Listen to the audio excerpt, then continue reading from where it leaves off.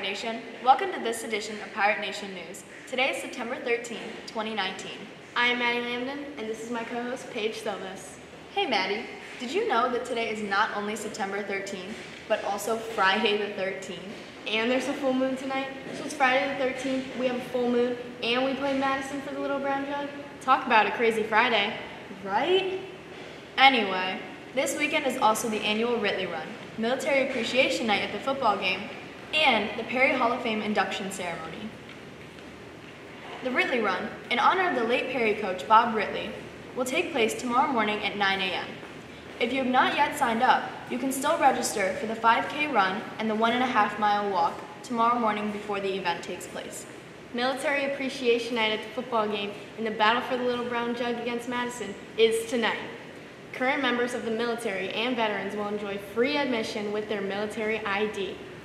During halftime, they will be invited to the field and they will be recognized for their service. Saturday night, Perry alumni will be inducted into Perry Hall of Fame.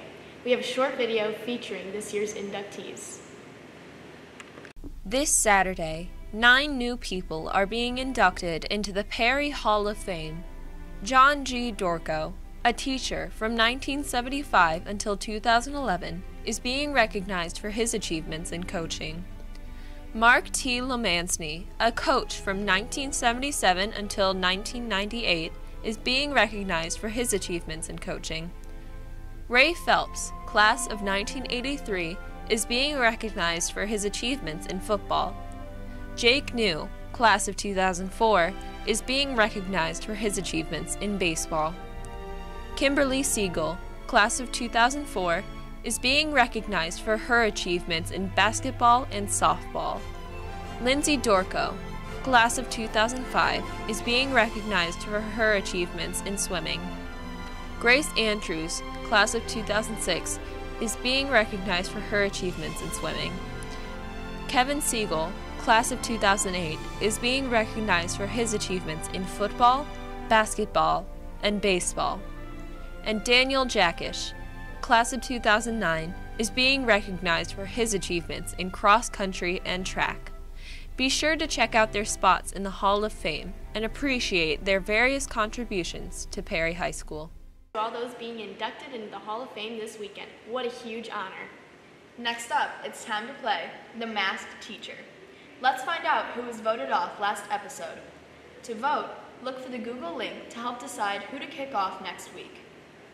Hello, and welcome to The Masked Teacher. I'm your host, Katie Baranowskis, and here are your contestants.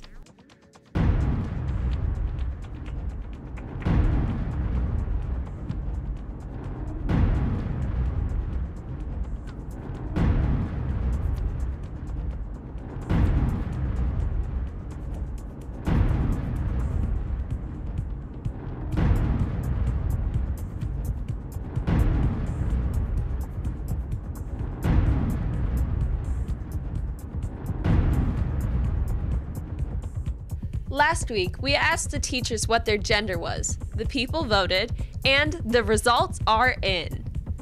The Narwhal, Jason Kipnis, Antonio Brown, the cat, and Charlie Brown. Please step forward. You are all safe this week. You may step back.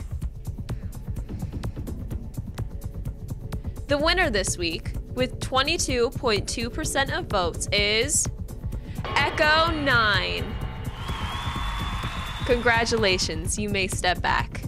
This leaves the bottom three as Poindexter, the Honey Badger, and the Tasmanian Devil. The person going home this week with 5.6% of votes is the Tasmanian Devil.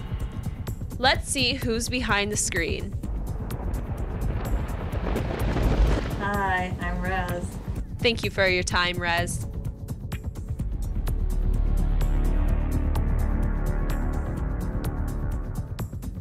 Now, on to this week's question. What is your age? Too old. 38. 50. 51. I am 40. I'm 30 years old. 39. Double nickels. 44. Well, there you have it. Make sure to vote in the Google form listed in the description of this video for who you want to keep in. See you next week on The Masked Teacher. Poor Rez, she didn't even make it out of week one. Stay tuned for future episodes to see who gets revealed next. Perry Middle School created quite a stir this year when they banned all cell phones from school hours. Josh Korth provides us with more information on the new rule.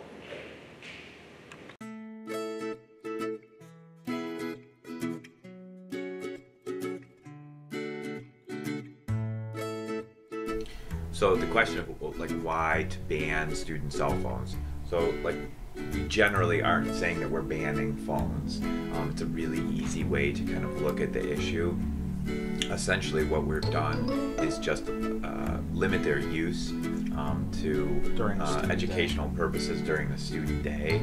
Um, so the focus is less on the phones and worrying about the phones, and more so on just giving the students the freedom to be present, um, both with their teacher uh, and with their friends. So if they know they can't use them, it just frees them up to think like, okay, I can't use it, so you know, here's the time, here's the way I'm going to use it.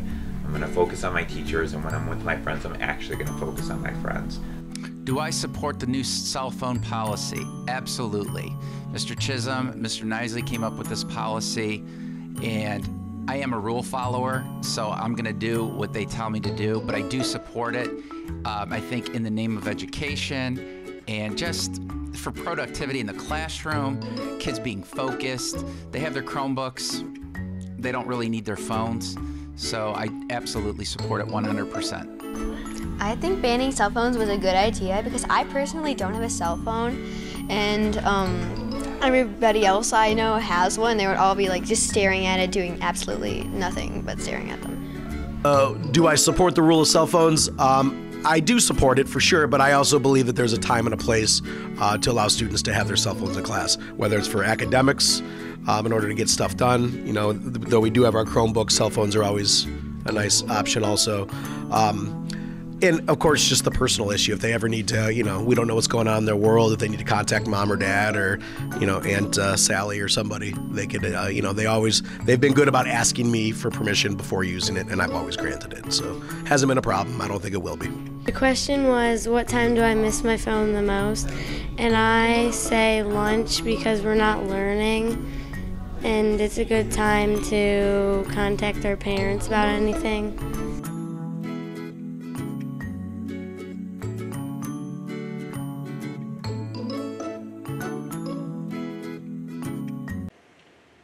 There you have it.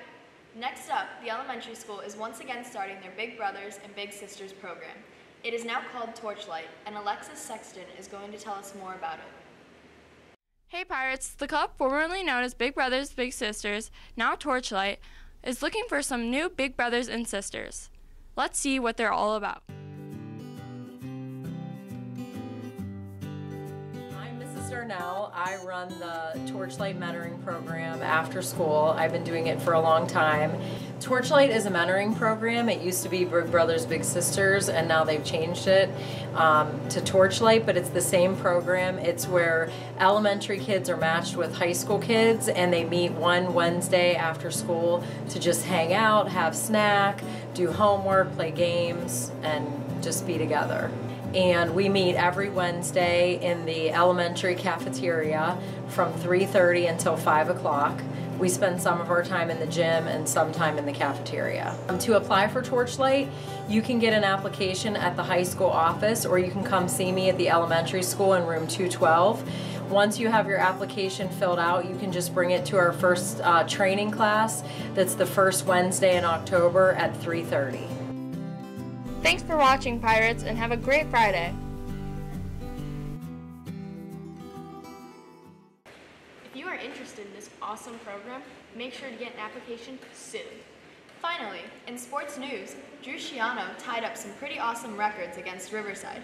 Josh Korth shows us Drew in action. Drew Schiano on August 30th, week one against the Riverside Beavers, will throw for 9 touchdowns and 353 yards. These stats will tie the OHSAA record for the most passing touchdowns in a single game. Let's dive in and see how it happened. quick pass out to Rosati. Rosati's going to go in. He's going to go in for the touchdown. 15-yard play, Drew Schiano to Anthony Rosati.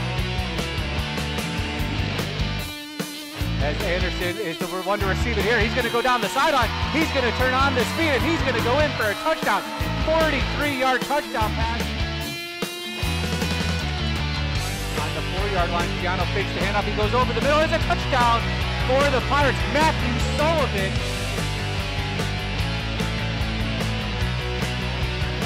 Tosses out to Rosati. Rosati with a nice block there by Malone. Rosati inside the five. He's going to dive into the end zone. That's going to be a Pirate touchdown. Cano, he's going deep. He has Rosati wide open. Rosati's going to catch it at the six, and he's going to go in for a touchdown. 24-yard touchdown play. Rosati after the penalty, the Pirates set up first and 10 from the 49. Schiano's going deep behind Rosati. He's going to catch it at the 22, and he is in for another Pirate touchdown for Anthony Rosati. Back. Pressure coming on Schiano, able to elude it. He's going deep for Sullivan, and he caught it. Matthew Sullivan, his second touchdown reception. 28-yard strike for the Pirates. And Sullivan, always a solid player of the team.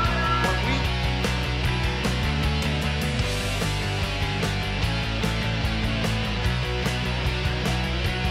Cristiano going across the middle.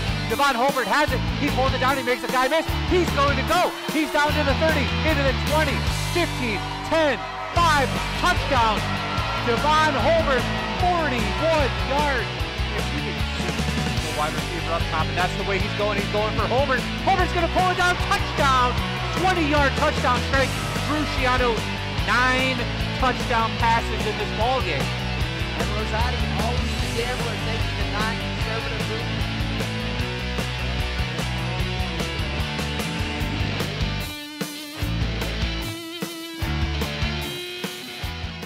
route. Awesome job, Drew. Hopefully, we break some more records against Madison tonight. And speaking of Madison, let's end with a little football hype video to get everyone pumped up for tonight's game. Go Pirates and have a great weekend.